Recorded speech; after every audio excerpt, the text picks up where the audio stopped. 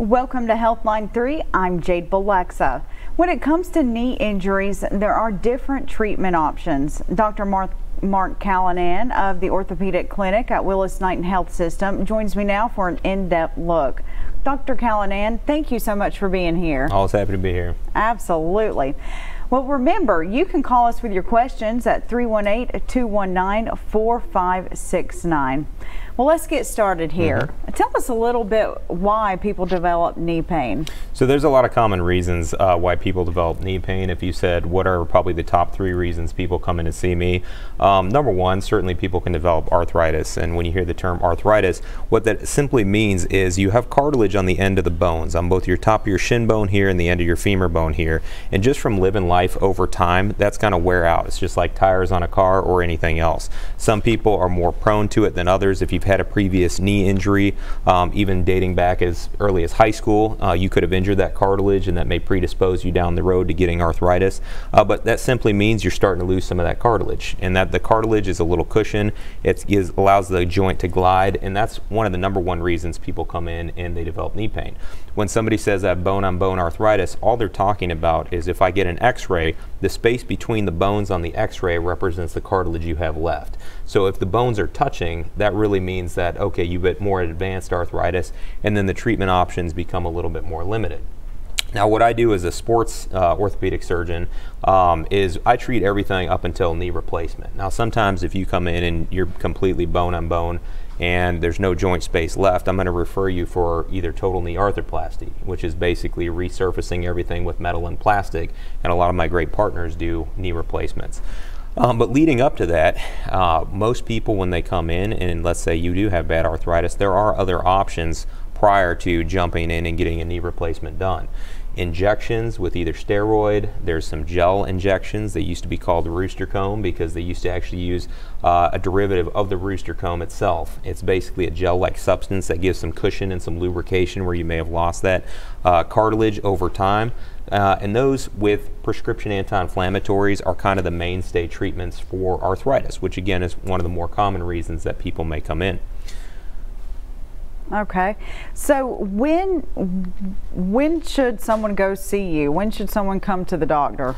I think most people, by the time they see me, it's you know either been weeks or months of this pain where it's something that they might have had occasional aches and pains in the past, uh, but this is now becoming something that's more sustained and where their lifestyle is impaired. They find themselves limping, waking up at night, and it's not getting better with the simple things like ice, modifying their activity, taking over-the-counter anti-inflammatories or Tylenol.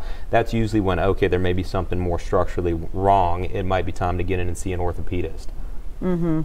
And what what would an evaluation uh, consist of? Yeah, so evaluations for me, I mean, there's kind of two categories patients fall into, especially with knee pain.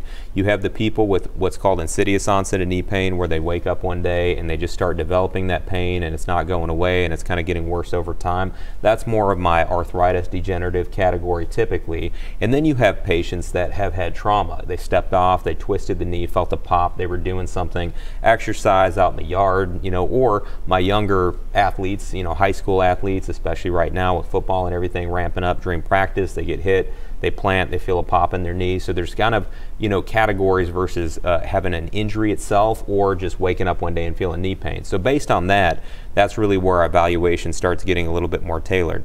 Now, everybody for the first time when they come in to see me is going to get an x-ray. That gives me just a baseline, you know, when you're talking about the younger athletes, okay, are their growth plates still open?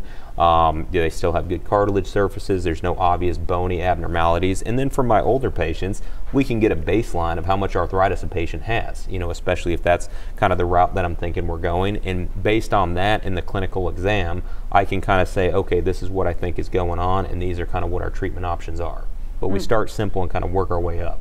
Mm-hmm. I'm sure you stay busy with all the athletes oh, yeah. that we have here in the Arklatex. Absolutely, um, especially when things start warming up. I mean, really year round. Sports go year round, so that's a big portion of my uh, patient population are the young high school, you know, adolescent high school, all the way up until my weekend warriors or people still just exercising. They like running, they like doing athletic things on the weekend. They end up hurting themselves too. Mm-hmm.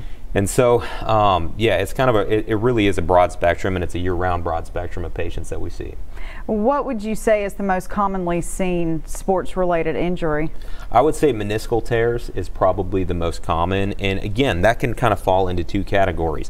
So, to reiterate on the meniscus, if you were to look at the top side of the bone here, and this is your shin bone right here, you have these two little half moon shaped discs that are little cushions. They're basically little shock absorbers that sit on the top of your shin bone and they help cushion things with that cartilage and they help preserve kind of knee health and you know with the cartilage they basically uh, are uh, give you stability support and you know allow you to function so what can happen with these discs is there's two things. One, you could step off a curb and the bones can pinch and basically tear these things, and that's more on the traumatic side of things. I have football players, they get hit, they you know land awkwardly, they twist, these things can you know tear, get pinched, and it's really getting pinched in between the bones. Now on the opposite end of the spectrum, patients don't necessarily even have to have had an injury or an inciting event. These things, just like the cartilage over time, if it's taken a beating over time, they can break down. So sometimes when people wake up and they say, I'm having a lot of pain here. Um, you know, it's one of those things where they may just have a degenerative tear where just like the cartilage wearing out over time, they've gotten a little split in that meniscus, and that could be another source of pain for a lot of patients. Mm. Wow, that saying that sounds painful. Either way, either if it's degenerative or, mm-hmm. or, you know playing a sport. Well, we have Gladys on the phone right now. Uh, Gladys, hello. Hope you're doing well. Tell us the question you have for Dr. Callanan. I would like to ask him: Is the MRI better for diagnosing pain in the knee than just regular X-rays? And also, what is the treatment for pseudo gout in the knees? Oh, good question. So to answer the first part, which was excellent, um, when people ask all the time, what's what's the difference between an X-ray or an MRI, or one to get one versus the other? X-rays are always the quickest thing to get. It's a really fast exam. We could do it in clinic. It gives me a baseline if somebody fell, make sure they don't have a fracture, see how much arthritis a patient has. You know, kind of what we talked about before. An MRI allows us to see everything we don't see on the X-ray, all the soft tissue structures. So if I'm worried about a meniscus tear, we can get an MRI that will show us those meniscus in fine detail. If I'm worried about a ligament or a tendon injury, again, soft tissue structures won't show up on an X-ray. So if you have good joint space and you don't come in and you're not kind of advanced arthritis and I'm worried about a meniscus tear, um, certainly an MRI would be an option for you. If you are, you know, an athlete in football practice and you twist your knee and it's all swollen and I'm worried you might have torn your ACL, your anterior cruciate ligament or your PCL or one of your tendon ruptures, um, that's the time to get an MRI. So I don't think it's necessarily better. It all depends on what you're trying to look at for in the diagnosis. And certainly, if you don't have bone on bone arthritis, it's viable to get an MRI to give you more detailed information. On number one, I can see the cartilage surfaces in finer detail. I can look at the meniscus and really see if those are broken down and kind of confirm a meniscus tear. And sometimes you can even see how much fluid a patient has in the knee, which is a sign of inflammation, see if there's any debris or loose bodies floating around. And that's really where an MRI would come into play. Now, for pseudo gout in the knee, that's a, a little bit of more of an inflammatory uh, diagnosis. Uh, pseudo gout is basically crystals, which unlike gout where people think about the crystals being in the big toe traditionally, pseudo gout is a different type of crystal that can actually form in the larger joints. So it's an inflammatory condition, the knee balloons up, it looks hot and red. A lot of times we're worried about an infection and we draw fluid off and send it off to look at cell count and crystal analysis and usually looking under the microscope we can confirm pseudo gout. Now, pseudo gout is one of those things where we treat with medication. Um, if it was really an inflammatory condition, uh, could there be utility for a washout if people were really struggling? Uh, you certainly could, but most of the time, if you treat them with medications like colchicine and indomethacin, which are traditional gout medications, people get better a lot quicker. And you don't need to do anything more than that. Okay. How treat with regular gout medication?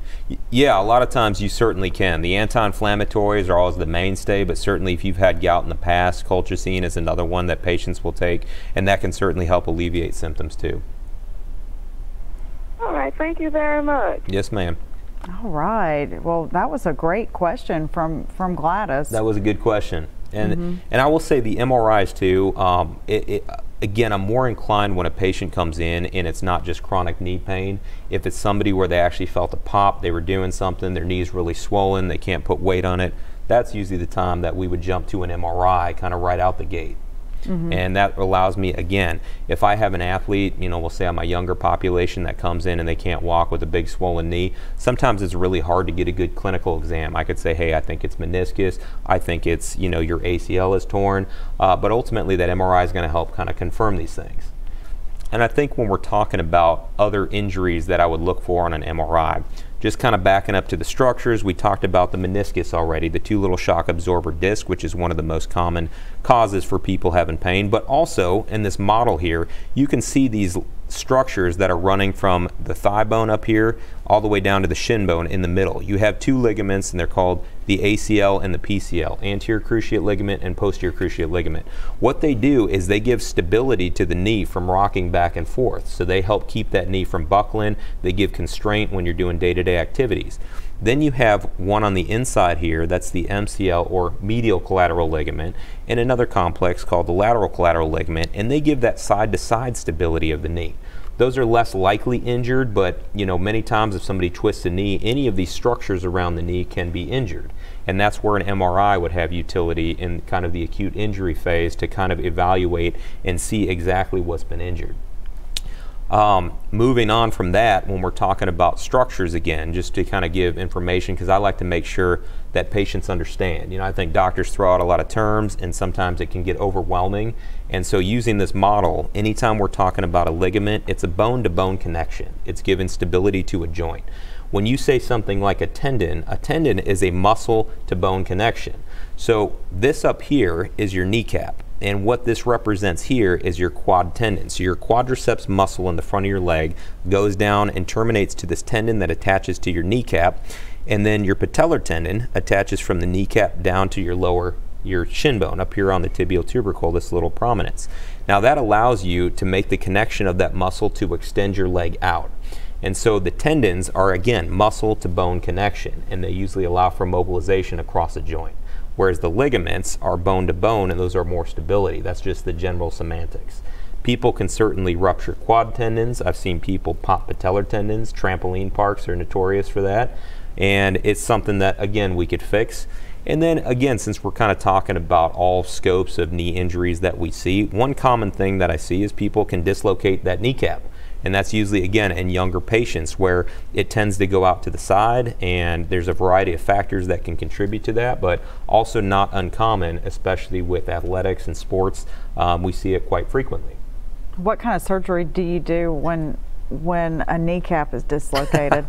well, that depends on a variety of things. There's different things to think about. My analogy that I try to give to patients is thinking about the patella in the groove here being like a boat in a boat trailer. Mm-hmm. So if you think about a boat trailer, if you had a flat trailer and you try to pull a boat up, it's going to slide around the depth of the groove here, and that's just the way people develop, you can imagine the flatter groove, they're going to be more prone for this thing to slide back and forth. So that's one thing that's less controllable.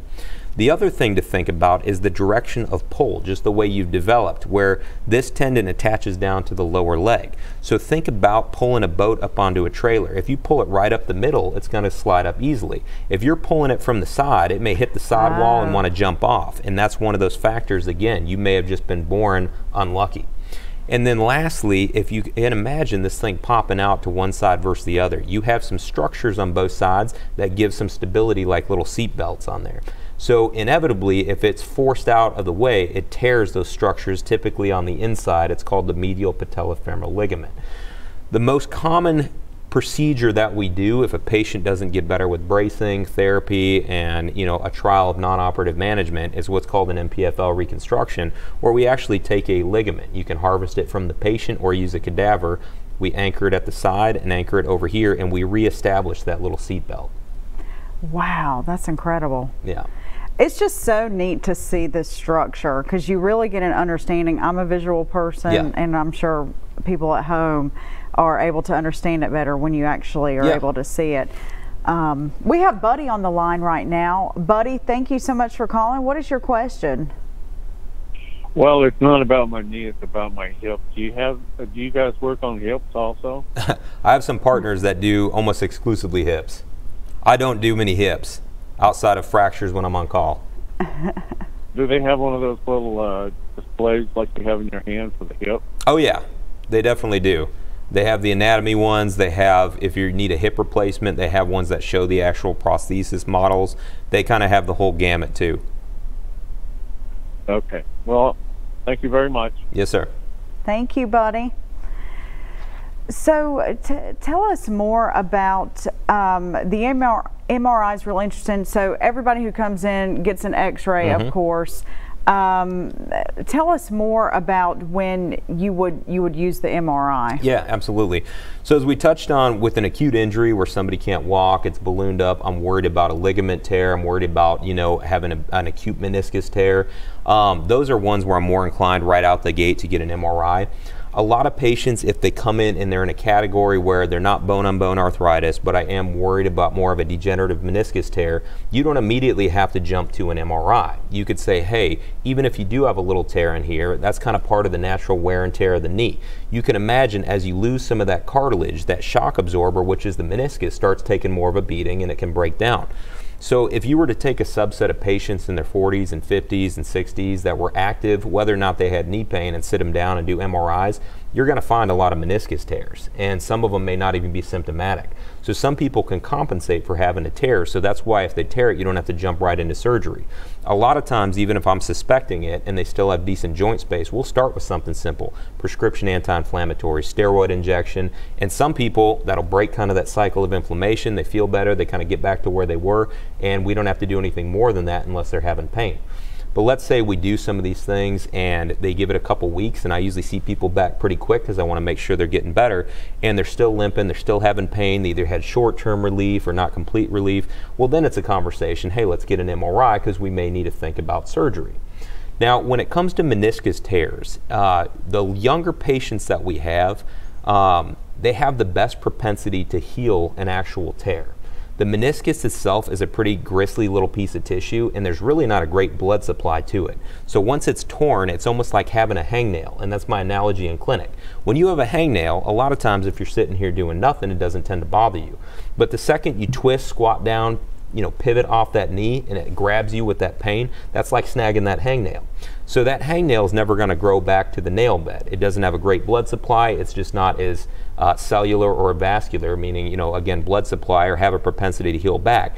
So it's going to stay there until you take care of it. So that's similar to what most patients, especially my middle-aged patients, when they have meniscus tears, what we do, it's more of a cleanup job if we go to surgery. It's just like trimming off the little portion that's torn. Now, just like with the hangnail, you don't rip out the entire nail bed. You just trim off the little portion that's torn. So we can go in arthroscopically, two little poke holes in a camera, and I can look around and if that meniscus is torn and I could see that little flap that's getting stuck in the joint, a lot of times we're just trimming that up and we leave as much of the good meniscus behind, but take away that little portion that keeps getting stuck between, causing the pinching, the catching, the locking, and the swelling. Now, in younger patients, simply because we know the meniscus helps, you know, with overall knee health and preserving them from getting arthritis down the road, we don't want to go in there and take out a big chunk of meniscus unless it was absolutely not repairable. But once you get patients kind of mid 30s and up, it's much harder for us to heal a meniscus tear. And the meniscus recovery is like, you know, being on crutches for four to six weeks, being in a brace, it's usually three to four months to get back to activity. Versus if you go in there and just clean things up, I let people walk on it immediately. And I say, do whatever you feel comfortable, crutches for comfort only.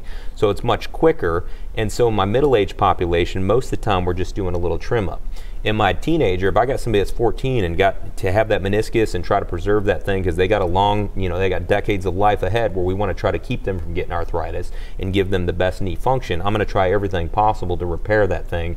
And usually, you know, at that age of life, it's a little bit easier to put somebody on crutches for four to six weeks and give them a three to four month recovery versus an adult that's like, look, I got a job, I got kids, I got things to do.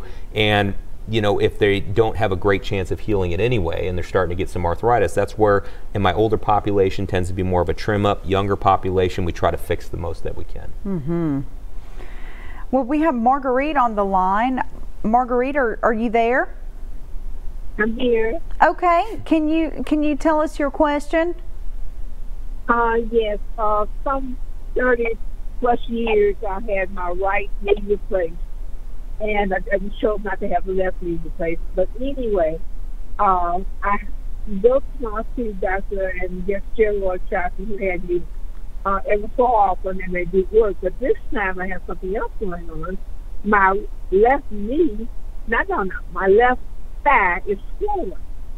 And uh, my primary physician sent me to get uh, a test for blood clots, and if there's no blood clots there, I am awaiting other doctors to look at this. But I would like to know, uh, doctor, what would cause the knee to be swollen?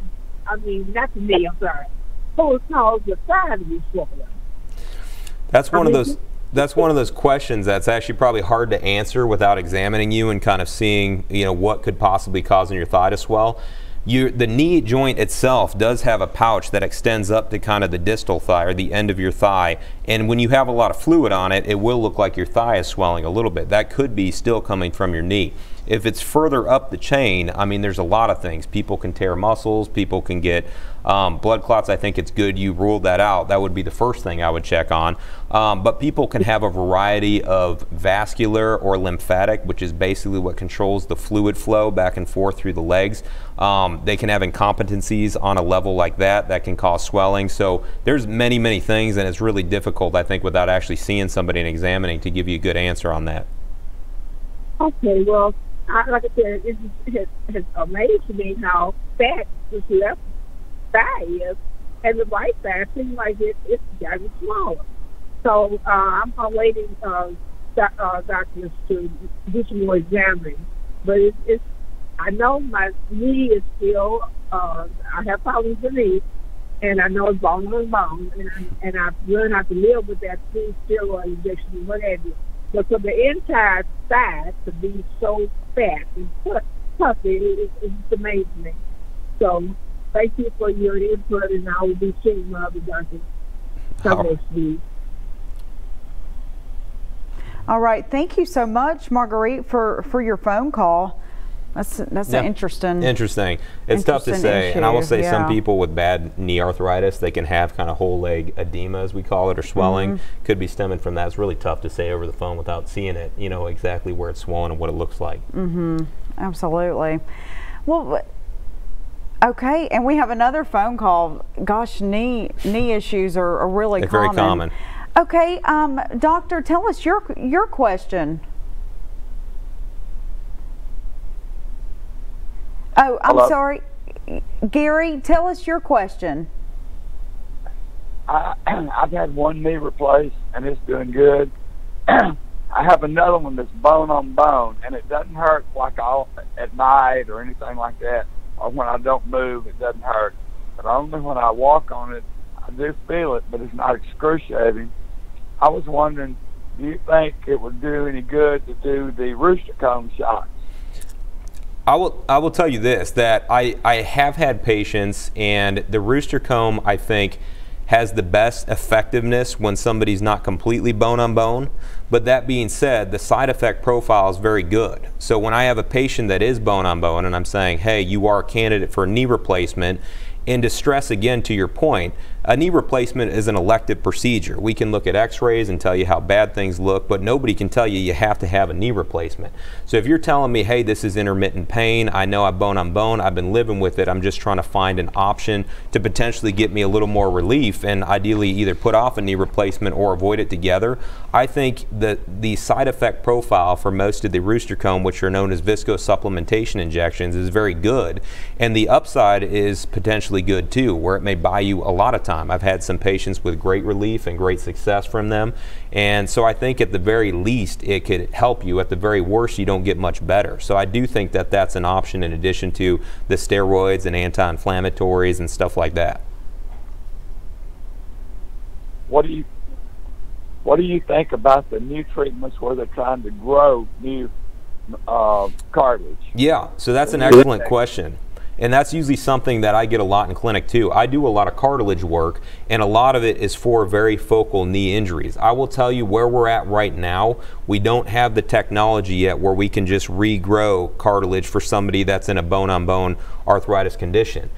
If somebody comes in and they knocked off a pothole of cartilage, I can take a cadaver plug with live healthy cartilage. I can put it inside that knee to kind of fill in the pothole. we can harvest some of their, their actual cartilage and grow stem cells and reimplant that and that will grow back in, but that's only for certain size constrained defects. If you're bone on bone arthritis, unfortunately, despite you know people telling you you could squirt stem cells and stuff like that in there, there's nothing we have that's going to basically grow back cartilage. And in that same vein, a lot of patients will ask me about stem cells, and there's a variety of places people can harvest it for, platelet rich plasma, things like that. Um, what these basically are are biologics that, you know, platelet-rich plasma is where we draw your blood, we spin it down, we get the growth factors, and really what it is is a biologic anti-inflammatory. And there actually is some data for people with bone-on-bone or advancing arthritis where they get pain relief. That's a little more durable than just a steroid injection. So I think that's probably the only one from a biologic standpoint that has some literature and efficacy for it. Most of the stem cells, you know, you'll read about people that will happily, you know, take lots of money and squirt them into your knee, but the reality is we just don't have the data and certainly not data showing that they're going to grow any type of cartilage back. I think most of the time it's more of just a biologic anti-inflammatory response versus actually repairing and regrowing cartilage. Thank you for that information. I appreciate it. Absolutely. I really do. Yeah, I wanted to ask you about that. The the stem cells, Mm-hmm. that type of technology is really advancing. Yeah, it's coming along, and again, we can use it for po- focal defects. Um, when I get, you know, laborers, when I get athletes, if they knock off a pothole or chunk of cartilage, uh, we certainly could take a cadaver bone where we, we, we literally take a fresh frozen cadaver, which is good for about 72 hours. They ship them in for the case. We can core that out and implant an actual bone and cartilage that's live, viable, healthy that will grow in. We can do that. We can harvest little peripheral pieces of cartilage and put it into different spots. And then we can also biopsy the cartilage. They can grow it in a lab, and I can come back and put a little matrix in there, and it grows their own cartilage back over time, and that's called a MACI procedure. So there's a lot that we can do for focal cartilage injuries, but just not globally growing cartilage at this time. All right, we have another caller. Uh, can you tell me your name and your question? James. Hello, James. Yes, I actually have. Uh, Yes, James, my name is James, Go ahead with your question. and I have I have two questions. Okay. Um, I'm 58 years old, and I like to go to the gym, and approximately I, I like to do squats and leg curls, and sometimes I find myself lifting a little heavy, and I was wondering over time is that really good or healthy for me at that particular age, or should I just stay at a moderate rate Yeah, of, of a That's a really great question, and a lot of people ask that. I, I think that my general response for people in heavy lifting, weights in particular, is how much discomfort, number one, that you're experiencing when you're doing it. If it's something where you have good form, you have good technique, and it's not causing you significant pain, and you've been lifting and you're 58 and you're still lifting fine and doing these things, I think it's okay to continue. You know, if it's somebody where you're saying, hey, it hurts me every time I squat, should I keep pushing through it? Or should I modify and maybe lighten the weight, pick different exercises? Then in that scenario, I'd say, yes, it probably is good to back off. I do think over time, significantly heavy weights, if you're really beaten and beaten on the joints, that cartilage will break down. But again, it's purely based on how much it's bothering you now. I don't like slowing people down, I like keeping people moving. Absolutely. Okay, um, Okay. James, did you have a second part to that Yes, question? Yes. Yes. My second question is I like to walk in the neighborhood and stuff. And in my particular neighborhood, I found that it's just pavements on the street. And sometimes it can be discomforting. And I'm wondering, should I maybe continue to walk or jog? I like really jogging better than walking. Or should I go to a, a, a football field where they just maybe walk on grass? Yeah. soft? Mm. I think switching it up. I do think that pavement is tough on a lot of knees. So to that point, I think if you could either walk kind of in the lawns off to the side or make sure you have good footwear for cushioning. I think if it's really uncomfortable, switching it up to a softer surface is a good idea. And thank you, James, so much for calling. And we're running out of time. Gosh, this went by so fast. we could talk about knee issues We could. There's still on and on. yeah. I could probably go another two hours and still cover everything else. tell, tell us how people can reach you. uh, we have the clinic. You can make online appointments. You can call up to the clinic, um, and we'll we'll get you in. What's your phone number? Uh, 318-212-3610 is the clinic number. Okay, great. Because I, I know there's a lot, a lot of questions. Uh, people have knee problems out there. I know I do. When I try to squat down at the grocery store to get It's common. something off the shelf, it's harder and harder to get up. But thank you all for for watching us for Healthline Three, and uh, we'll see you again for another edition tomorrow. Have a great day. Stay healthy.